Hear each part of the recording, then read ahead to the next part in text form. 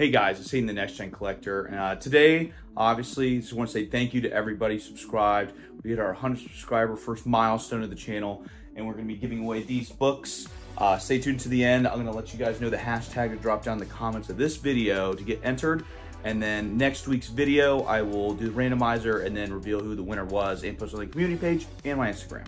But before we get into that, I want to showcase some pickups that I got off Whatnot from uh, Chillectables. Mispronouncing that, I'm sorry. Uh, they were running a, basically on Whatnot, they do free shipping, which as a lot of you know who shop on Whatnot, that is kind of unheard of. So it was a really good chance to get a lot of good deals without having to paying um, all those extra fees of shipping, trying to count how much you're you know, paying on total all in on a book. But I actually picked a book that wasn't even on my radar at all that I'm really excited to get into.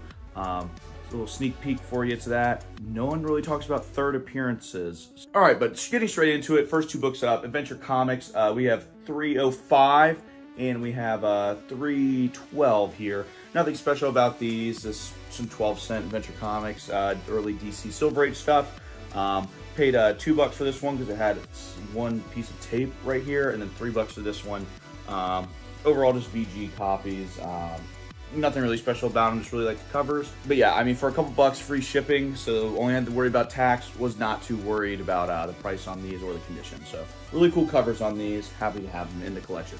So our first key of the lot was uh, Adventure Comics number 372. This is actually the first appearance of the Legion of Superheroes as teenagers. Um, I got this one for $10. I probably overpaid slightly, or maybe that's probably what, about what it goes for.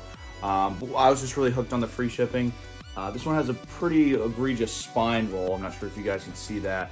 Um, and I'm not gonna lie, I really don't like the cover comparatively to the other two books I picked up, but it was a minor key. Um, it was really having a lot of fun in the auction with the great deals that were being had. So I just decided to add this one to the lot. Why not? Um, you never know. Maybe 20 years down the line, they'll this team will come out, um, Legion Superheroes, but as teenagers, and this will be the book that goes up. Who knows? Uh, but just overall, just happy to get some more DC uh, Silver Age in the collection. Next up, so uh, we have a Fantastic Four book here. So originally, I had uh, Fantastic Four number 57, I believe. Uh, the Doctor Doom cover will pop it up right here. Um, but I recently traded it with along with a bunch of other books for my uh, first appearance of Moon Knight. Um, so I was kind of dying to get another Doctor Doom cover back in the collection. Uh, the main one I want is Marvel Superheroes 20. I'll toss that up right here. I think this is the best Doctor Doom cover ever. I mean, come on. It's pretty sick. But in this auction, we actually got Fantastic Four number 58, some great Jack Kirby goodness. Because uh, the Marvel Superheroes 20, I don't believe it's Jack Kirby's a different uh, artist. But we have some Jack Kirby Stan Lee goodness here. Um, so Silver Age Marvel. Uh, I paid $26 for this. Uh, I think that's probably right on the nose what it goes for. I'll toss up the key collector stuff here. Um, so I probably, I think I paid at the time, I think I looked up right on the nose. But another thing about this seller, I thought I'd you know, toss in. These are the best bag and board books I think I've ever gotten, as in the, every book came double boarded uh, in nice mylar. I mean, it, was like, this mylar seems like it's brand new. Like it still had, looked like it had the flakes coming off whenever they cut it at the factory or whatever. But um, yeah, double boarded, bagged in a mylar. Every book looked like, I mean, it's beautiful. I mean, you could probably sell dollar books if you bagged them like this for probably three bucks a piece. Um, so really shout out to Chillectables for great packaging um, and display of the book. So I don't even have to go and rebag and board anything. So great prices, free shipping, and amazing bag and boarding. So uh, definitely go check them out on Whatnot whenever you get a chance. And uh, I believe on eBay and IG as well. Um, you, can, you can actually see it here on the back of the board. But yes, happy to get this one in the collection to get some more amazing Doctor Doom cover action. All right, so next up, uh, this book is related to probably a top five villain of mine, uh, Loki. And along with season two, my girlfriend's cat is named Loki, so have some personal affiliation with uh, the character that way as well. But we have Journey into Mystery number 91. This is the third appearance of Loki.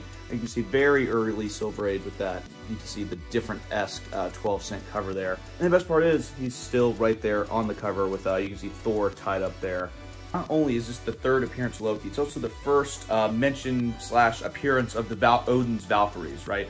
So uh, I think there's two specific Valkyries that are in the story that are, you know, named and everything, and then it's the overall this first mention of, you know, the Valkyries. So I'm sure you guys have watched Thor Ragnarok, saw the story of the Valkyries and everything. So uh, really cool book here. But yes, how much did I pay for this book? I paid a total of $46. you believe that? $46. But it may look beautiful, but there actually is about a three inch spine split. Uh, it's basically from the bottom here that goes all the way up to the bottom staple. Um, it's in, to the bottom staple attached. So it's probably like a 1.0. Um, the top table still is attached, look a little rough though. But overall, the colors are really still true to uh, the original colors, not a whole lot of fading. There's no egregious Marvel chipping that is very notable for books of this era. So still extremely happy to get this book in the collection. I'm probably gonna toss it up to uh, my Thor's Hammer that you guys saw in a previous video. Um, so I'll probably toss it up there and then whenever Loki Season 2 come out, I'll know that I have this book right here. But extremely happy to have this one. But yes, the 100 subscriber giveaway. We have third appearance of Carnage, some Silver Age Marvel Tales, uh, Marvel X with Alex Ross cover, uh, House of Secrets number 108 here, and uh, Justice League of America number 108, second appearance of the Freedom Fighters. That's all you guys have to do to enter is comment next gen 100 in the comments. Toss up the example right here of exactly what you need to put in the comments. And I will do a random uh, comment picker off that hashtag and then announce it on the next video. And once again, on my Instagram, which follow me at Next Generation Collector, and also on the community tabs page if you don't have time to sit through the next video. But once again, extremely, extremely, extremely appreciative of everyone subscribed. Once again, I never thought, you know, 100 subscribers would even be possible. I was really inspired by uh, really two people to kind of start my channel. But the first being Mike at Lunch Money Comics. He really kind of showcases that you don't need a whole lot of money uh, to really have a great YouTube channel. And not only that, he really opened my eyes of what actual comics can actually be in your community if you go out and look at, you know, weird and unusual places, he likes to say. Um, and another one is actually Mon Comics, Brandon. Yeah, but I remember in one of Brandon's videos, he mentions, you know, why not me? Why not I just throw my hat in the ring? So that's kind of what I was doing here. Yeah, after watching both of them for a while, I was like, you know what? Well, I might as well throw my hat in the ring. So uh, shout out to those guys. So hope you guys stick around for the next 100 subscribers, and we'll have another giveaway then, um, and another giveaway after that. And we'll probably be bigger and better compared to this one. But like I always say, I've been talking way too long. Hit the outro.